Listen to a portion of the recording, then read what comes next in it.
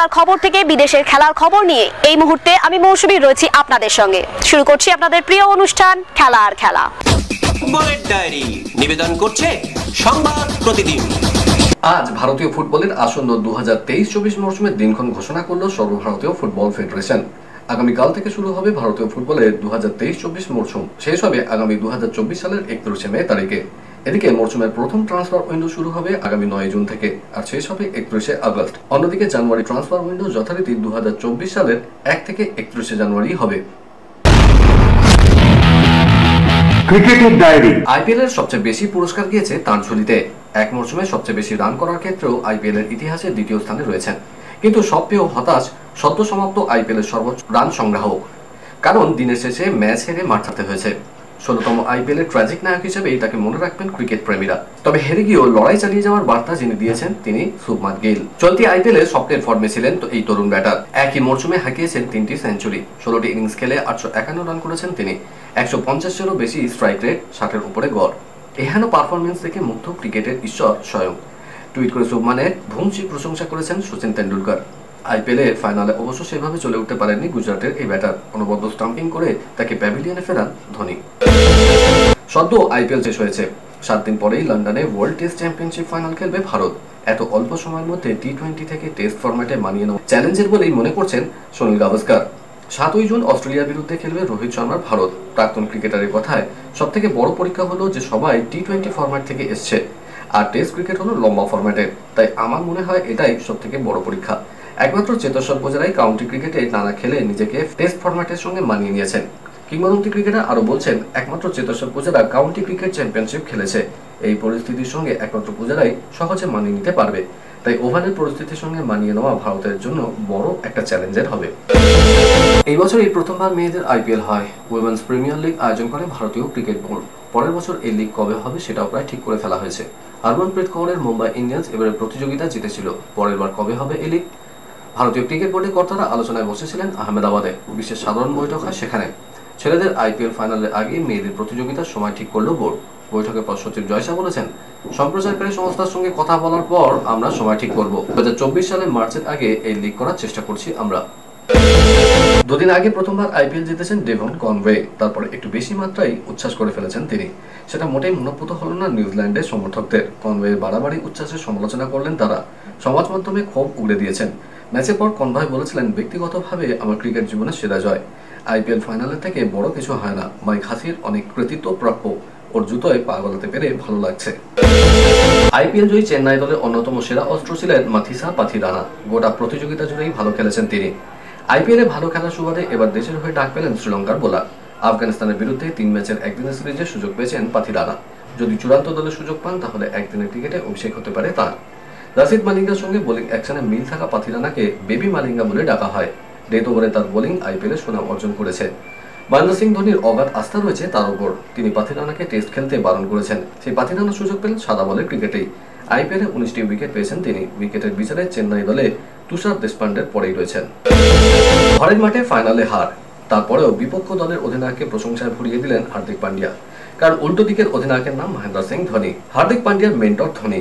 তাই শেষ দুই বলে রবীন্দ্র জাদেজা ছয় এবং চার মেরে জয় ছিনিয়ে নেওয়ার পরেও হতাশ নন গুজরাট টাইটান্সের অধিনায়ক। বরং চেন্নাই সুপার কিংস অধিনায়ক মহেন্দ্র সিং ধোনির জন্য এটাই হওয়ার ছিল বলে মন্তব্য করেছেন। টানা দ্বিতীয়বার আইপিএল জয়ের সুযোগ হাতছাড়া হওয়ায় বিন্দুমাত্র হতাশা না ফুটিয়ে হার্দিক বলেছেন, আমি ধোনির জন্য খুশি, এটাই হওয়ার ছিল। আমায় যদি হারতে হয়, ওর কাছে হারলে আমি কিছুই মনে করব না। ভালো মানুষদের সঙ্গে ভালোই হয়। খেলার আরও খবর রয়েছে, কিন্তু এখন সময় একটা ছোট্ট ব্রেকের ফিরছি ব্রেকের পর, সঙ্গে থাকুন।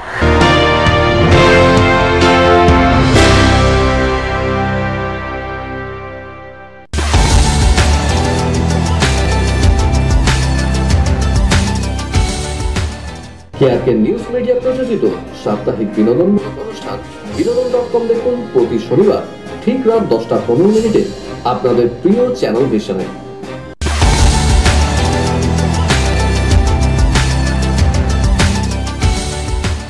ব্রেকের পর আমি আবার হাজির খেলা আর খেলাতে। বিদেশের ডায়েরি। এল ক্লাসিকো ব্যবহার করতে পারবে না বার্সেলোনা এবং রিয়াল মাদ্রিদ। নির্দেশ দিল স্প্যানিশ পেটেন্ট ও ট্রেডমার্ক অফিস। কোনো ক্লাবই নিজেদের ম্যাচের প্রচারে এল ক্লাসিকো ব্যবহার করতে পারবে না। এই সংক্রান্ত সমস্ত ধরনের প্রচার বন্ধ করতে হবে।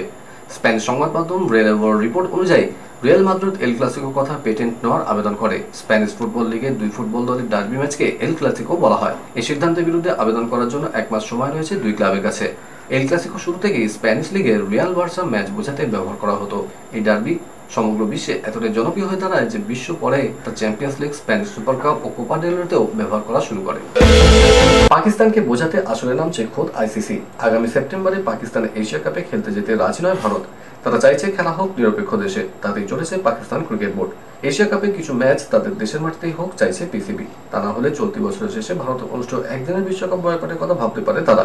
এমনই হুমকির সুর শোনা যাচ্ছে পিসিবির অন্দরে। সে কথা জানাজানি হতেই নড়েচড়ে বসেছে আইসিসি। পাক কর্তাদের মনোভাব বুঝতে লাহোরে পৌঁছেছেন আইসিসি চেয়ারম্যান গ্রেগ বার্কলে এবং সিইও জিওফ আলারডাইস তারা কথা বলবেন পিসিবি চেয়ারম্যান নাজম সেঠির সঙ্গে। ফ্রেঞ্চ ওপেন শুরুর আগে পুরুষ সিঙ্গেলসে বিশ্ব র্যাঙ্কিং এ শীর্ষে পৌঁছেছিলেন তরুণ স্প্যানিয়ার্ড। তার ফলে এবার রোলা গ্যারোয় কার্লোস আলকারাজ প্রতিদ্বন্দ্বিতা করছেন শীর্ষ বাছাই হিসাবে। ফ্রেঞ্চ ওপেনে লাল সুরকি কোর্টে চোটের জন্য খেলছেন না কিংবদন্তি রোফায়েল নাদাল। তার অভাব কি ঢাকতে পারবেন সদস্যীয় আলকারাজ? প্রথম রাউন্ডে তিনি শুরু করলেন রাজকীয় মেজাজে।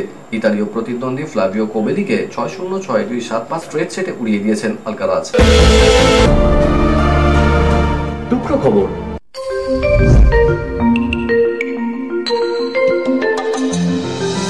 আন্দোলনকারী কুস্তিগীরদের বিরুদ্ধে এবার পাল্টা অভিযোগ করলেন এক কুস্তিগীরের কাকা। অমিত পালওয়ান নামের এই ব্যক্তি অভিযোগ ভারতীয় কুস্তি সংস্থার সভাপতি ব্রিজভূষণ শরণ সিংকে জোর করে ফাঁসানোর চেষ্টা করছেন বজরং পুনিয়া, সাক্ষী মালিকরা। তাদের মগজতলাই করা হয়েছে বলে অভিযোগ করছেন অমিত। ব্রিজভূষণের বিরুদ্ধে এক নাবালিকা সহ বেশ কয়েকজন মহিলা কুস্তিগীরকে হেনস্থার অভিযোগ করেছেন বজরাংরা। অমিতের অভিযোগ, তার ভাইজির জন্ম দু হাজার চার সালে। সেই হিসাবে তার বয়স আঠারো বছরের বেশি, কিন্তু যাতে পক্সো আইন ব্রিজভূষণের বিরুদ্ধে অভিযোগ করা যায়, তার জন্য কুস্তিগীররা তার বয়স ষোলো বছর দেখান। কুস্তিগীররা নিজেদের স্বার্থ পূরণের জন্য আমাদের পরিবারকে ব্যবহার করেছেন। আমার ভাইজিকে নাবালিকা বলা হয়েছে, কিন্তু ওর বয়স আঠারো বছরের বেশি। ফরাসি ওপেনের পুরুষদের সিঙ্গেলসে প্রথম রাউন্ডে অঘটন। বিশ্বের দু নম্বর পুরুষ তারকা ড্যানিল মেদভেদেভ প্রথম রাউন্ডে হেরে বিদায় নিলেন। বিশ্বের একশো বাহাত্তর নম্বরে থাকা ব্রাজিলের থিওগো সেইবোধ পাঁচ সেটের লড়াইয়ে হারালেন তাকে। খেলার ফল মেদভেদের বিপক্ষে ছয় সাত সাত ছয় ছয় দুই, তিন ছয়, চার ছয়। রোলা গ্যারোজে ফিলিপের সতিয়ারে কোর্টে প্রথম সেটে হেরে যান মেদভেদেব দুই খেলোয়াড়ই নিজেদের সার্ভিস ধরে রেখেছিলেন। টাই ব্রেকারে জেতেন থিয়াগো, যদিও পরে দুই সেট জেতেন মেদভেদেব বিশেষ করে তৃতীয় সেট যেভাবে অনায়াসে তিনি জেতেন তাকে দেখে মনে হচ্ছিল চতুর্থ সেটেই খেলার ফয়সলা হয়ে যেতে পারে। কিন্তু আদতে হলো উল্টো। চতুর্থ সেট জিতে নিলেন থিয়াগো। যত খেলা এগোচ্ছিল তত ক্লান্ত দেখাচ্ছিল রাশিয়ার প্রতিযোগীকে। পঞ্চম সেটেও মেদভেদেবের সার্ভিস ভেঙে দেন থিয়াগো। চার ঘণ্টা পনেরো মিনিট ধরে চলা ম্যাচ শেষ পর্যন্ত হার মানতে বাধ্য হয় মেদভেদেব এখনই গঙ্গার জলে পদক বিসর্জন নয় এমন সিদ্ধান্ত নিলেন সাক্ষী মালিক বজরং পুনিয়ারা। আপাতত কেন্দ্রকে পাঁচ দিনের সময়সীমা দিয়েছেন তারা। অভিযুক্ত ফেডারেশন প্রেসিডেন্ট ব্রিজভূষণ শরণ সিং এর বিরুদ্ধে ব্যবস্থা নিতে হবে কেন্দ্রকে। এমনই দাবি কুস্তিগীরদের। কুস্তিগীরদের সঙ্গে দেখা করে তাদের সঙ্গে দীর্ঘক্ষণ কথা বলেন কৃষক আন্দোলনের নেতা নরেশ টিকায় তারপরে এই সিদ্ধান্ত নেন সাক্ষীরা। এমনকি তাদের সমস্ত পদক আপাতত নিজের কাছেই রেখেছেন কৃষক নেতা। শেষ পর্যন্ত সাক্ষী মালিক বিনেশ ফোগতদের পাশে থাকার বার্তা দিয়েছেন মুখ্যমন্ত্রী মমতা বন্দ্যোপাধ্যায়। এবার দিল্লিতে কুস্তিগীরদের সমর্থনে প্রতিনিধি দল পাঠানোর সিদ্ধান্ত নিয়েছেন তৃণমূল কংগ্রেস। মাসখানেক আগেই তৃণমূলের প্রতিনিধি দল কুস্তিগীরদের সঙ্গে দেখা করেছিল। কয়েকদিনের মধ্যেই ফের দিল্লিতে গিয়ে প্রতিবাদী কুস্তিগীরদের সঙ্গে দেখা করবেন তৃণমূলের প্রতিনিধিরা। টুইট করে এই কথা জানিয়েছেন রাজ্যসভার সাংসদ ডেরেক ও ব্রায়ান। কলকাতার ডায়েরি, নিবেদন করছে গুডেজ হসপিটাল। মিশে গেল কলকাতা লিগের প্রিমিয়ার এ এবং বি ডিভিশন। আইএফএ তে প্রিমিয়ার লিগ নিয়ে গুরুত্বপূর্ণ বৈঠকে এদিন এই সিদ্ধান্তই নেওয়া হয়েছে। মোট ছাব্বিশটি দল নিয়ে আয়োজিত হবে। এবারের কলকাতা লিগ দুটি গ্রুপে ভাগ করা হবে দলগুলিকে। আইএসএল খেলা দুই বড় ক্লাব, ইস্ট বেঙ্গল এবং মোহনবাগানকে দুটি আলাদা গ্রুপে রাখা হবে। ঠিক সেভাবেই মাওয়ার্ড স্পোর্টিং এবং ভবানীপুরকে দুটি পৃথক গ্রুপে রাখা হবে। গ্রুপ পর্যায়ের পর প্রথম ছটি দলকে নিয়ে আয়োজিত হবে সুপার সিক্স। সেখান থেকে বেছে নেওয়া হবে এবারের লিগ চ্যাম্পিয়ন। ঠিক সেভাবেই দুটি গ্রুপের শেষের দিকে থাকা দলগুলোকে নিয়ে রেলিগেশন রাউন্ডের খেলা হবে। মোট চারটি দলের প্রিমিয়ার এ থেকে অবনতি হবে। ভারতীয় ফুটবল ফেডারেশন জানিয়েছে, স্থানীয় লিগে আর বিদেশি খেলানো যাবে না। আর প্রিমিয়ার লিগের এই দুটি ডিভিশনের মধ্যে একটাই পার্থক্য ছিল। লিগে বিদেশি খেলানো না গেলে দুটি ডিভিশন মিশিয়ে দিতে কোনো সমস্যা নেই। প্রতিটি দল যেন অন্তত পক্ষে কুড়িটি করে ম্যাচ খেলতে পারে। মনোরঞ্জন ভট্টাচার্য, সঞ্জয় সেন, দেবজিৎ ঘোষদের বিশেষজ্ঞ কমিটি সেই পরামর্শ দেন বলে জানিয়েছেন। আইএফএ সচিব অনির্বাণ দত্ত। তিন বড় ক্লাব যাতে নিজেদের ঘরের মাঠে লিগের ম্যাচ খেলতে পারে তার জন্য চেষ্টা করছে আইএফএ। ফ্লাডলাইটেও বেশ কিছু ম্যাচ আয়োজনের ভাবনা চিন্তাও রয়েছে। কেয়ারকে নিউজ মিডিয়া প্রযোজিত সাপ্তাহিক বিনোদনমূলক অনুষ্ঠান বিনোদন ডট কম দেখুন প্রতি শনিবার ঠিক রাত দশটা পনেরো মিনিটে আপনাদের প্রিয় চ্যানেল ভিশনে কলকাতার ডায়েরি নিবেদন করল গুডেজ হসপিটাল। এখন রইল স্পোর্টস কুইজ। আমাদের আজকের প্রশ্ন আইপিএল ক্রিকেটে চেন্নাই কতবার চ্যাম্পিয়ন হলো? আইপিএল ক্রিকেটে চেন্নাই কতবার চ্যাম্পিয়ন হলো? এই অনুষ্ঠান শেষ হওয়ার ঠিক কুড়ি মিনিটের মধ্যে আপনারা ফোন করুন এই নম্বরে। Nine six seven double four eight one zero four nine. Nine six seven double four eight one zero four nine. লটারির মাধ্যমে সফল উত্তরদাতাদের জন্য থাকছে বিশেষ পুরস্কার। আজকের মতো এই পর্যন্তই। আগামীকাল আপনাদের সঙ্গে আবার দেখা হবে। ঠিক এই সময় এই চ্যানেলে বাই